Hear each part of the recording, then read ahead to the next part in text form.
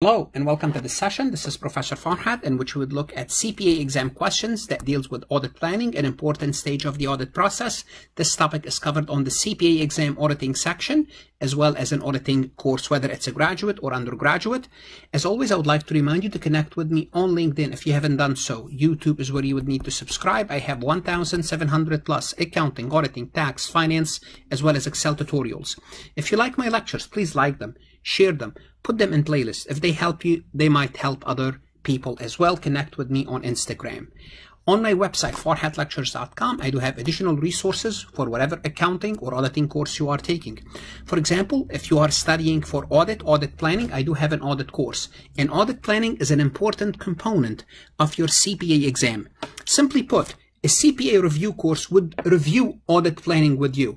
I explain and teach you this process in my auditing course. That's the difference between what I do and any other review course that does an excellent job reviewing the material with you once you have learned it properly. And you can learn it properly on farhatlectures.com if you haven't done so at your university.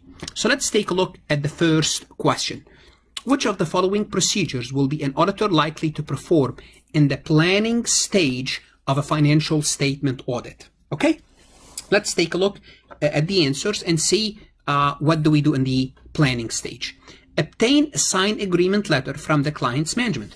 Do we do this uh, during the planning stage? Is it something that we do during the planning stage? And the answer is yes. You want to kind of gain an understanding with the client, and this is when you will get a signed engagement letter.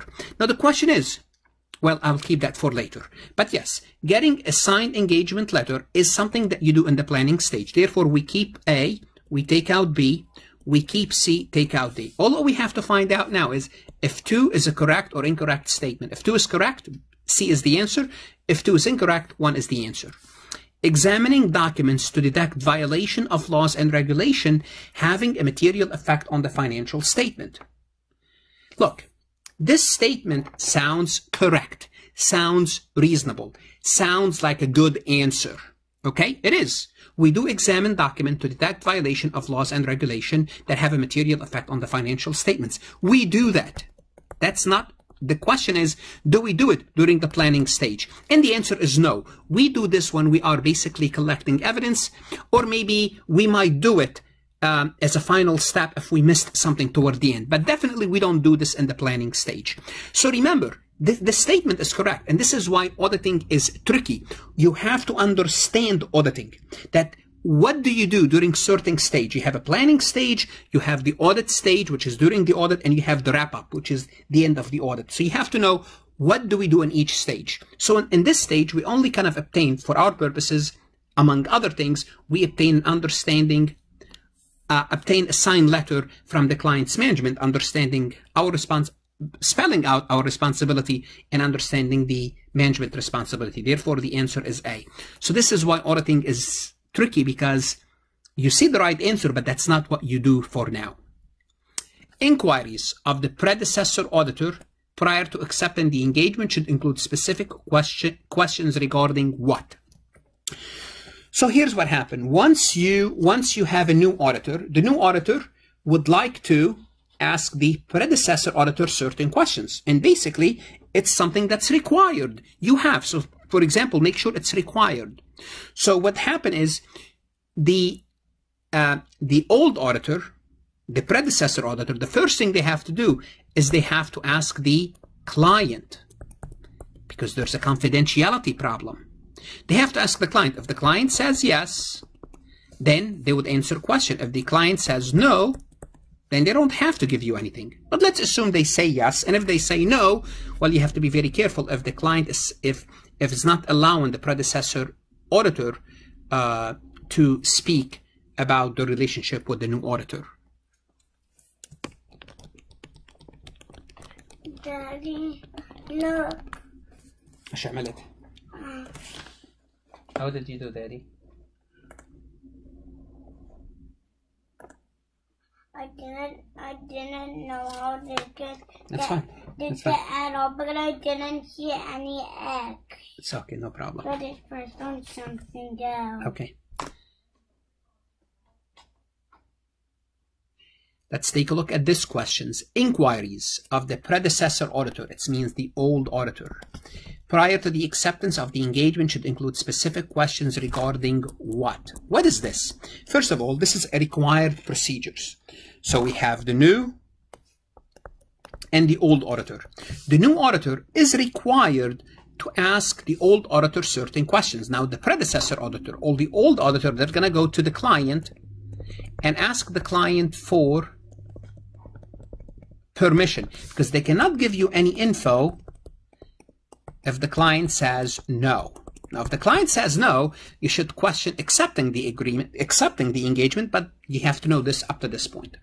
They will ask them this about, about disagreement with management as to accounting principle and auditing procedures. Will they ask them about this? Well, what do you think? Should they, should they ask them about this? I would say yes.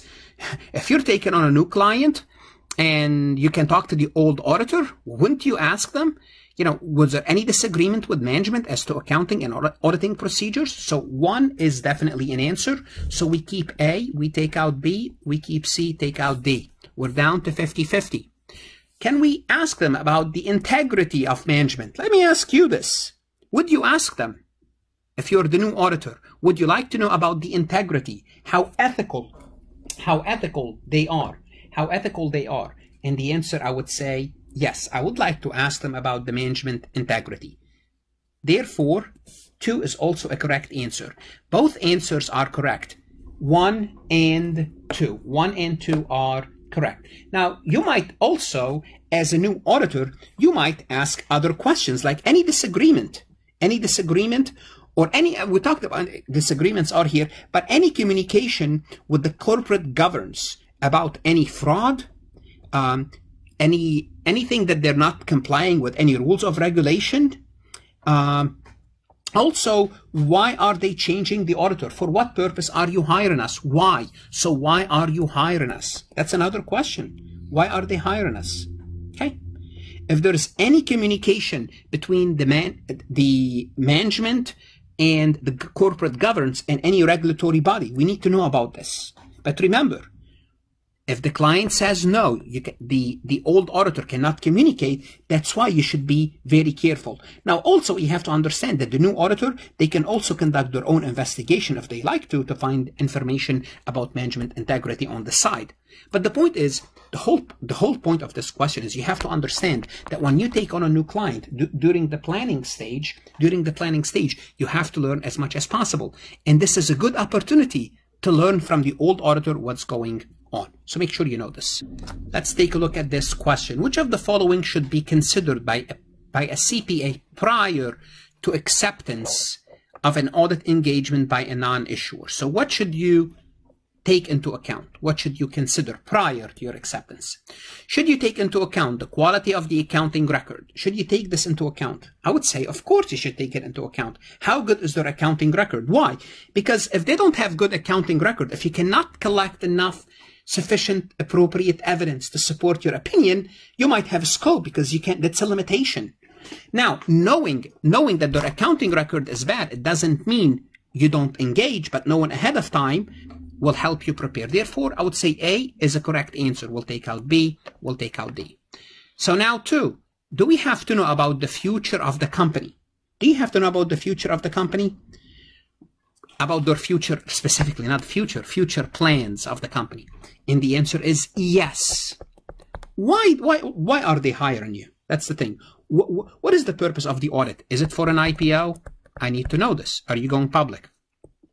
Is it for a loan? Is it to renew your line of credit? I need to know why are you engaging me in an audit? What's your future plan? I have to know this as well.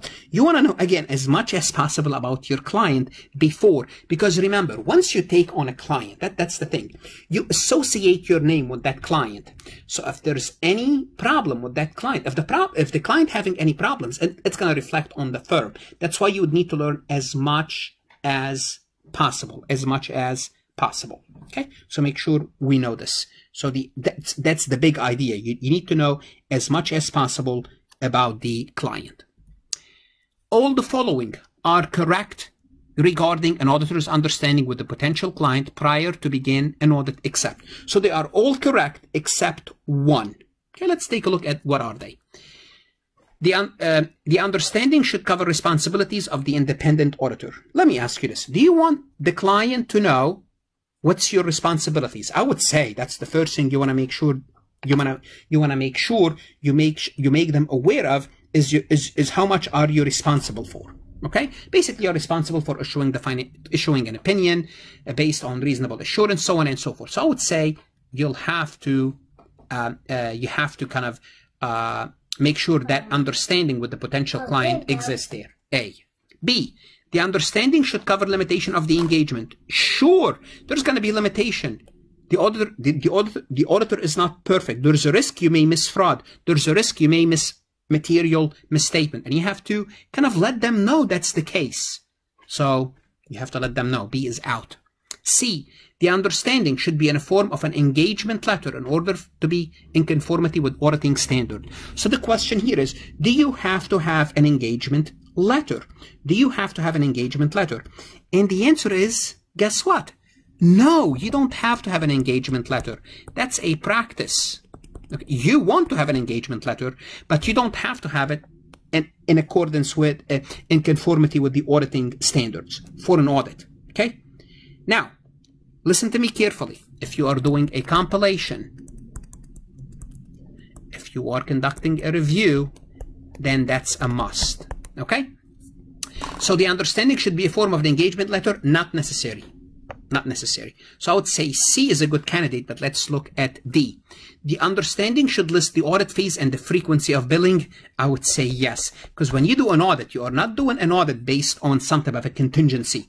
And that's going to kind of, in a sense, impair your independence and you become basically part of the client. So you want to let them know, this is my fee up front and this is how often am I going to be billing you. Okay, so that's very important. That's very important. That's also a must. Okay, otherwise you don't go um, blindly and suddenly you are in bed with the client without you even noticing. So C is the correct answer. Management responsibilities in the in the engagement letter should include which of the following. Now, management what is the management responsibilities? We talked about the engagement letter. That's not that's not it's a practice, but it's not in conformity with the accounting auditing standard. And you'll be stupid not to have an engagement letter, although it's a practice. So what should the engagement letter spells out as far as management responsibilities. One, adjusting the financial statements to correct material misstatement. Who should adjust the financial statements? Should the auditor adjust it or should management? I would say management. Because once we do adjustments, it means we are kind of doing managerial work, operational work. That's not our job. Basically, kind of financial accounting work. That's not, we can't do that. So they adjust the financial statement. Therefore, A will stay, C will stay, D will stay, B is out identify and ensure that entity complies with, with, with rules and regulation. Whose responsibility to make sure that the company complies with rules and regulation? Whose responsibility? That's management responsibility. I would say two will stay. So one and two will stay. C is out. Now we have to find out is number three, selecting and applying accounting principle. Who selects and apply accounting principle? Would the auditor do so or, or do management do so? Of course, management select the appropriate and we judge it, but we don't select and apply it. We judge that process, whether they are doing it or not. We don't select it. Therefore, C is also a correct candidate. Therefore, the answer is D. Also, what's important in the management, uh, management responsibilities to be spelled out is they're responsible for the internal control. They're responsible for making the accounting record available to us. We make sure they spell this out. We want to make sure that at the end of the period, they give us what's called a rep or representational letter. All these topics, as well as other topics, are covered in my auditing course. Make sure if you need any additional resources, supplemental resources to pass your auditing section of the CPA exam, check out my website. That's all what I'm going to say. You can add, in my opinion, 10 to 15 points. It will make your journey to the CPA easier. I don't replace your CPA course. I complement your CPA course. I supplement your CPA course. So make sure you know this. I am not, if I, if I can be a CPA course on my own, I will charge you much more than what, what, I'm, what I charge you now. Anyhow, Remember that investing in your career is an investment. It's an asset, not an expense. Investing in your CPA is a lifetime investment. It's going to pay dividend for years. Don't shortchange yourself. Study hard. Stay safe, especially if we are staying, if we are living, still living this coronavirus days. Good luck.